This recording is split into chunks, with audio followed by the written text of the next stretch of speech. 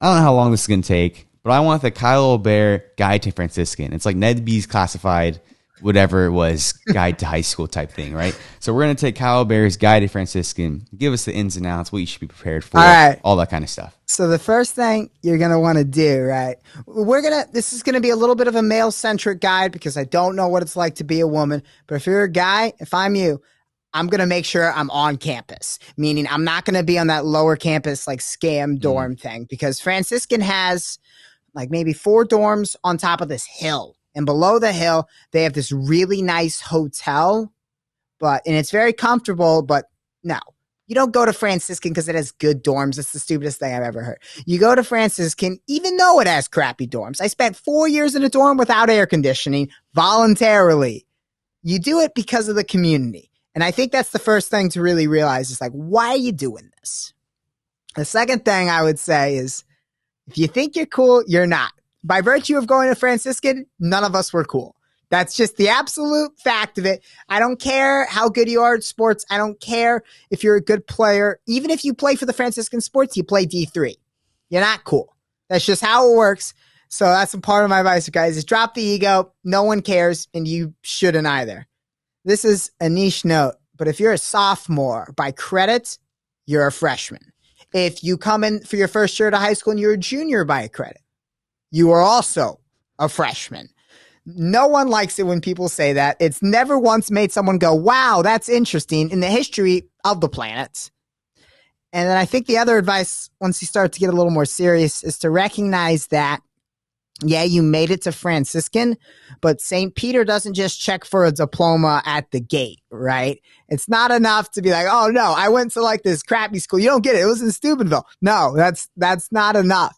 And while you go to Franciscan, yes, you are kind of starting holiness on like second base. They don't count runs till you hit home plate, right? So that would be to really important to recognize that yes, it's like sick that there's a chapel in your dorm, but if you're not going often, there's there's no there's no point. Like you're just you're just kind of like doing this cosplay as a Catholic thing. And then uh I would also recommend for social media for everybody to tell because there is a lot to be said for evangelizing on your personal social media because even the most franny sheltered catholic there is probably has a few non-catholic followers so there's a lot to be said for being a witness but my advice would be especially as a freshman is just be intent like think about why you're doing what you're doing because i just saw a lot of I mean, maybe it's just because I would call any household that wasn't brothers, like the Pharisee household. I did it for like all of them. maybe it's just because I'm a hater, but keep that in mind. Let's see. what are some other advice? Yeah, Franny is, uh, it's not that difficult if you're a business major, but it's a double edged sword because it's easy, but then you're not really going to be prepared for a lot of jobs. so you know, keep that in mind. It's a smart idea to actually try to learn some skills, even if it's not a lot. But if you re- if you like wake up halfway through your junior year and realize that like this is all kind of stuff I, sh- I did in high school, you can decide to coast for another year and a half and have a lot of fun. Or you can like try to learn like two useful things that'll help in a job interview. I'd, I'd really recommend that. Uh, join a household. I don't, no one's too cool for households. Not everyone needs a household, but everyone can join, everyone can benefit from one. And they're, they're so much fun. Like they're a blast. And then, uh, if you walk out of there and you don't have at least one intramural sports championship, like you did something wrong. You gotta, you gotta find a way to get into the game. Yeah. Oh, and then, uh, one last note. And you go to Franciscan, people tell you don't date freshman fall. All people will tell you that. It's common advice. Mm-hmm. I dated a girl freshman fall, got my heart shattered. I still recommend it though. It's really good in life to date someone. Just get your heart broke. It stinks. You grow up. You figure it out. Like, you're not gonna die. Like, go date a girl. I'm not saying do something stupid like go have premarital sex, but go date a girl. Like, take her out on a date. Tell your yeah. parents you really like her, even though you've known her for three weeks and it's not gonna work. Like, there's people always think that like when I, cause I'll say that, like, go make mistakes. Like, I don't always, I don't mean go sin.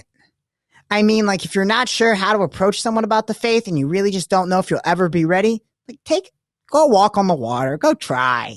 Like, what's the worst that can happen? You embarrass yourself. All right, learn from it. Like I think it's important to not be so scared of failure. We like prevent ourselves from like reaching to greatness, you know? Yep. Yeah, no, I think those are all valid. I would agree with actually every single one of them. Probably, I think a good point, like I like to bring up with Jake, and then when we had on, you know, the homies, uh, the Prod Brother collab podcast.